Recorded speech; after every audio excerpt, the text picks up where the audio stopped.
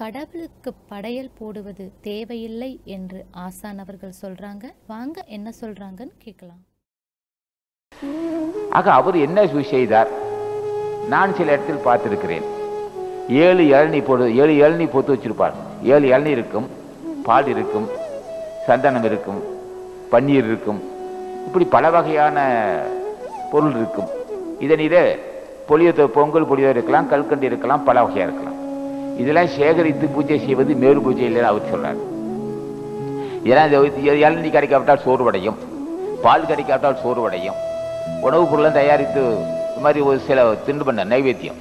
சில தின்பண்ணங்கள்லாம் கடவுளுக்கு வச்சு படைக்கணும்னு சொன்னால் என்ன ஆகும்? இது சேகரிப்பதற்கே நேரமாகும். ஞானிகள் அப்படி பூஜை செய்ய மாட்டார்கள்.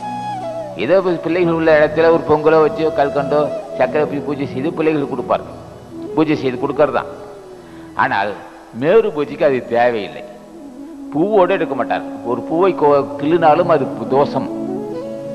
அவர்கள் ஒரு பூவை கிள்ளுவதே குற்றம் என்று பூஜை செய்வார்கள். அவர் எப்படி பூஜை செய்வார்கள்? இப்போ சட்டமணி இருக்கிறார் திருமுடர் இருக்கிறார் அகத்தீசர் இருக்கிறார். அகத்தீசாய நம்ம நந்தி சாய நம்ம இப்படி சொல்லி பூஜை செய்வார். அப்போ அவர்கள் வீழ்ந்து வணங்குவார்கள் வணங்கி கேட்பார் அங்கே எந்த விதமான ஆரவாரம் இருக்காது. ஒரே நறுமண பக்தி இருக்கும் ஒரு திருவிளக்கு இருக்கும்.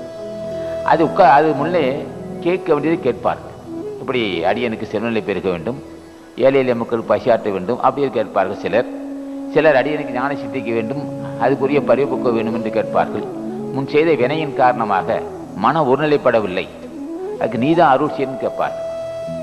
இப்படி பல கோணங்களில் வேண்டு வேண்டி கேட்பார்கள் இதுதான் அவர்கள் வேலை. அதான் மேரு பூஜை.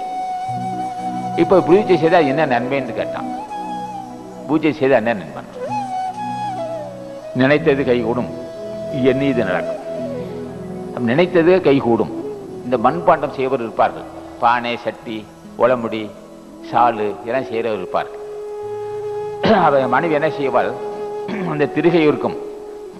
அந்த திருகை அப்படியே இழுத்துக்கிட்டே இருப்பார்கள். மண்பாண்டம் செய்து நான் பார்த்துருக்கிறேன்.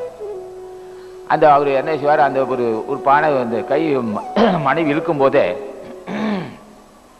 இது மாதிரி பக்கத்து வீட்டில் ஒரு அம்மா சட்டி வேணும்னுச்சு குழம்பு சட்டி.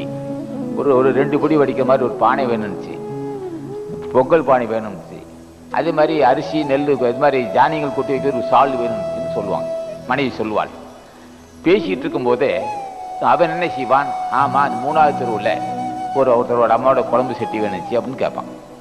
இப்படி தண்ணி பானை வேண்டும் ரெண்டு ரெண்டு பிடி படிக்க மாதிரி வானை பானை வேணும் புளி வச்சுக்கிற மாதிரி பானை வேணும் சால் வேணும்னு சொல்லுவான் அவன் இஷ்டத்துக்கு செய்வான் அதை ஆசானது அருளுரைகளை தொடர்ந்து கேட்க அரங்கர் டிவிக்கு லைக் பண்ணுங்க சப்ஸ்கிரைப் பண்ணுங்க. மறக்காம பெல் பட்டனையும் கிளிக் பண்ணுங்க.